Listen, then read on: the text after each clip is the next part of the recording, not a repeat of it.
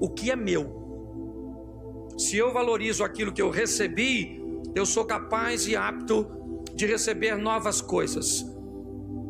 Se eu não valorizo o que eu tenho, para que que eu vou receber